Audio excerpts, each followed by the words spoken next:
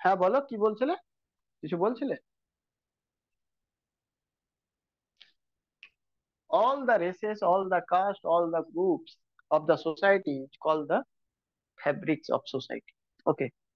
Ideology ideology যত কিছু ideology রয়েছে, যা কিছু জিনিস রয়েছে সোসাইটি যার উপর ডিপেন্ডেন্ট রয়েছে, যার উপর তৈরি রয়েছে, সে that all are the call the social fabric আর এই সোশ্যাল ফ্যাব্রিকের মধ্যে যখন আলাদা আলাদা পার্টিকেল দিয়ে তৈরি রয়েছে society that means they build conflict all তো ওর মধ্যে কনফ্লিক্ট হবে, ঠিক আছে? আর কনফ্লিক্ট যখন হবে, তাহলে তখনই কি হবে? Need to need to solution R solve solution চাই। আর সলিউশন চাই কি দিয়ে?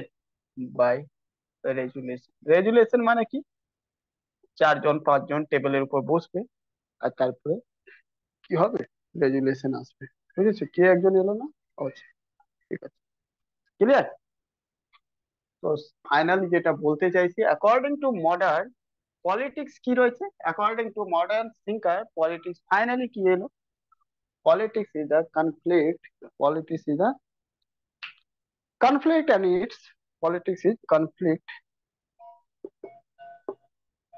and its regulation. বুঝতে পারলে? Clear modern thinker according to modern thinker political definition final এটা দেওয়া।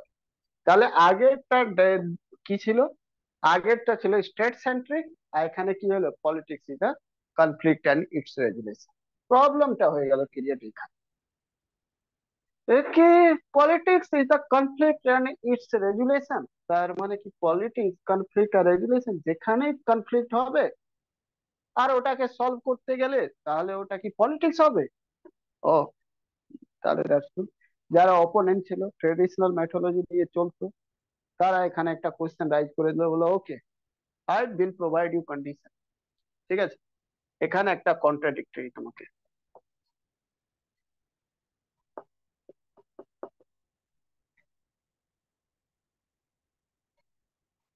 বলে ঠিক আছে।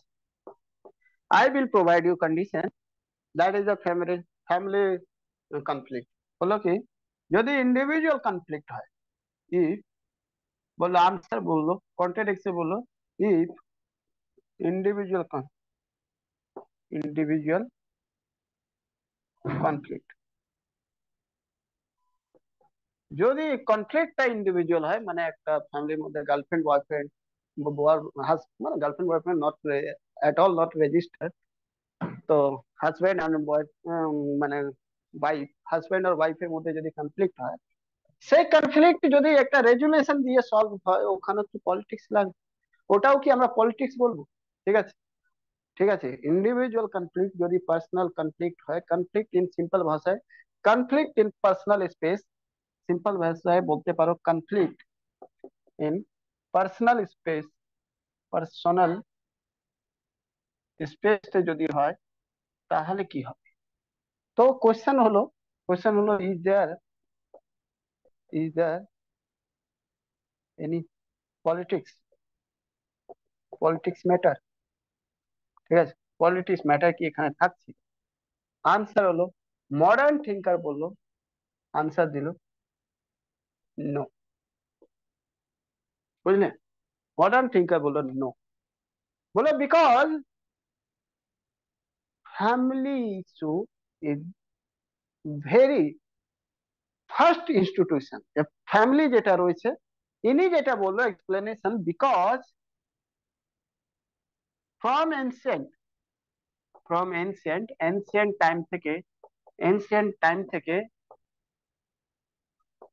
ওল্ডেস্ট ওল্ডেস্ট ইনস্টিটিউশন যেটা রয়েছে ইনস্টিটিউশন সেটা কি রয়েছে?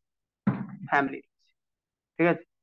আর ফ্যামিলি মিটারে পলিটিক্স আসতেই পারে ওই জন্য ইভেন টুডে হাজব্যান্ড ওয়াইফের মধ্যে ঝগড়া যদি হয় এমএলএ আর এমপি আর পুলিশ আর থানা কেউ কিছু করতে পারে না। এক কথায় বলবে, আমাদের ম্যাটার হচ্ছে আপনি কেন নাক গলাতে এসেছেন? চলুন, নিজের রাস্তা দেখুন, নিজের কাজ। বুঝতে পারলে কিনা?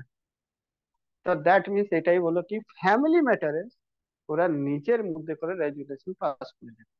মানে নিজেদের মধ্যে করে ডিসপুট সলভ করে নেবে, ওখানে কোনো পলিটিক্স স্পেস হবে না। পলিটিক্স যেটা হবে, সেটা হবে সোশ্যাল মিডিয়া মানে যেখানে দুটো গ্রুপ অল সোসাইটি আসবে, তখন পলিটিক্স আসবে। সোসাইটি নেই পলিটিক্স নেই। ইন্ডিভিজুয়াল ম্যাটারতে কোনো পলিটিক্স নেই। বুঝতে পারলে কিনা ব্যাপারটা? হ্যালো বোঝা গেল? দুটো কোয়েশ্চেন আছে।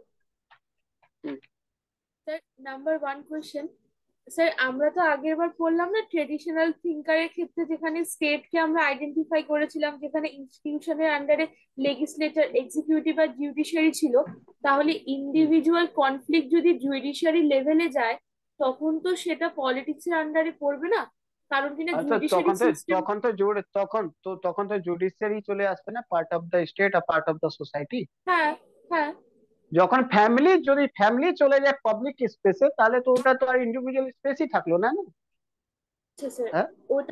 তোমার সাথে তোমার সাথে তোমার সাথে যদি ঝামেলা হয়ে যায় তোমার হাজবেন্ড তোমার ফ্যামিলি শাশুড়ি শ্বশুর কারোর সাথে এনি ওয়ান মা বাবার সাথে যতক্ষণ বাড়ির ভিতরে রয়েছে তোমার বাড়িতে আমি যদি যাব বলে এটা করো তোমাদের মধ্যে এটা ভাগ করে নাও এটা ভাগ করে নাও তুমি আমাকে চলুন নিজের রাস্তা দেখুন। তো আমি আমার মা বাবার সাথে আমি আমার হাজবেন্ড আমার শাশুড়ির সাথে কি করব সে আমি বুঝব। কিন্তু যখনই তুমি চলে যাবে কোর্ট তখন as a advocate I will do everything what possible extent in the politics scope বুঝেছ? ক্লিয়ার কিনা হ্যাঁ স্যার আরেকটা কোয়েশ্চেন স্যার আমরা যেখানে বলে দিচ্ছি পার্সোনাল স্পেস তাহলে কি স্যার পার্সোনাল স্পেস বলতে কি পাবলিক মানে পার্সোনাল স্পেস বলতে কি বোঝাতে চাইছেন? মনে করুন আজকে আমি রাস্তা দিয়ে যাচ্ছি। হ্যাঁ রাস্তা দিয়ে রাস্তা তোমার পার্সোনাল নয়।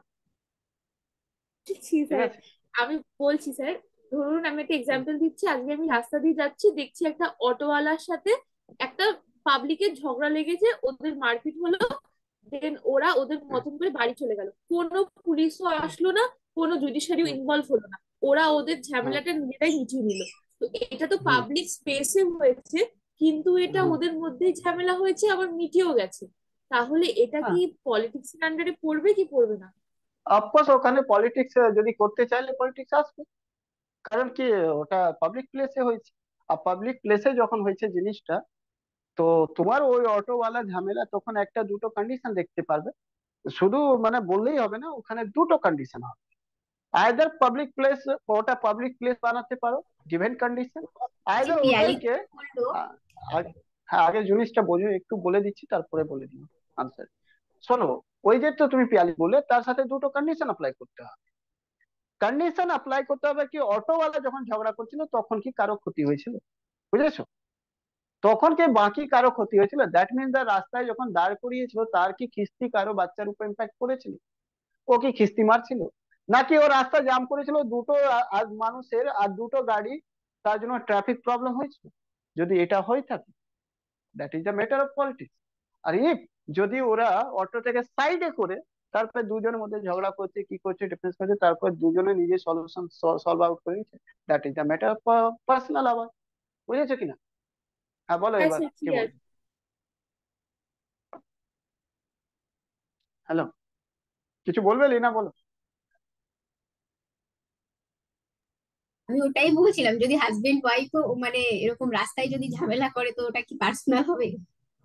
না ডিপেন্ড ডিপেন্ড করবে এটাই না, যে অন্য কেউ কনফ্লিক্ট মধ্যে আসছে কি? মানে কন্ডিশন কন্ডিশন একটা, ওই জন্য বললাম।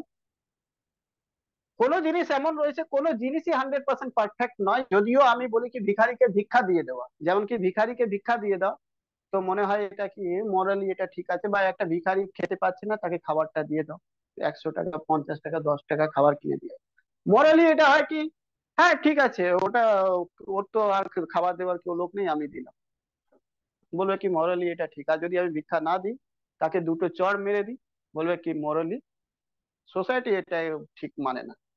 কিন্তু যদি কন্ডিশনই এটা থাকে, যে লোকটার কাছে ভিক্ষা চাইতে এসেছে, ওই লোকটা ভালো করে জানে, এই ভিখারি ভিখারি নয়, এই লোকটা ক্রিমিনাল রয়েছে।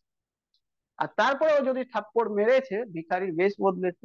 পরে যদি সোসাইটি যদিও ওকে বলবে কি, আপনি মরাল নয়, আপনার এথিক্যাল ভ্যালু নয়, তখন ওর লোকটা যদি প্রুভ করে দেয় কি, শুনুন, আমি মেরেছি থাপ্পড়, তার পিছনে রিজন রয়েছে, এনার এটা হিস্ট্রি রয়েছে, দেখুন। কালকে এক জায়গায় ভিক্ষা চাইতে গিয়েছিল, ওখানে একটা মহিলার সাথে রেপ করেছে। বুঝতে পারলে কিনা? এই যদি কন্ডিশন অ্যাপ্লাই করে দেওয়া হয়, তাহলে মোরাল ব্যাকগ্রাউন্ড তো হান্ড্রেড পার্সেন্ট কেউ কোনো জিনিসের উপর হান্ড্রেড পার্সেন্ট পারফেক্ট নয় condition should be make perfect বুঝেছ? তো যে কোনো ঝামেলা যেটা হচ্ছে সেটা পাবলিক না প্রাইভেট রাস্তার মধ্যে সেটা কন্ডিশন তাকে বানাবে পাবলিক আর পার্সোনাল বুঝেছ কিনা ক্লিয়ার কিনা হ্যালো স্যার মোটামুটি ক্লাস হয়ে গেছে? এই তো হতে চলেছে লাস্ট কেন? অ্যাকচুয়ালি আমার একটু পাশে ইনভিটেশন আছে তো তো বারবার ডাকছে। আমি এমনি যদি রেকর্ডিং চলছে তো চলুক। আমি চট করে তাহলে খেয়ে চলে আসি। আবার যা- তাহলে হ্যাঁ, হ্যাঁ, হ্যাঁ? চলে যা চলে যা চলে লাস্ট করাবেন শুধু মিনিট দেখ। না না দু মিনিট আর রয়েছে দু তিন মিনিট। আচ্ছা ঠিক আছে। ঠিক আছে তাহলে রেকর্ডিং হোক স্যার ঠিক আছে অসুবিধা নেই। আচ্ছা আচ্ছা আচ্ছা। তো newest definition definition of politics politics এর নতুন ডেফিনেশন যেটা হলো সেটা এটা হলো politics is the politics is the is authoritative authoritative allocative or authoritative allocation allocation of values মানে তিনটে জিনিস সেখানে রয়েছে। Authoritative allocation and values values কি? একটা একটা করে ডিফাইন করে, উল্টো করে ডিফাইন করছি ভ্যালুস ভ্যালুস কাকে বলে? অলরেডি যখন আমি পড়াচ্ছিলাম তোমাদেরকে এথিক্স তখন বলছিলাম, আবার এখানে বলছি। অ্যান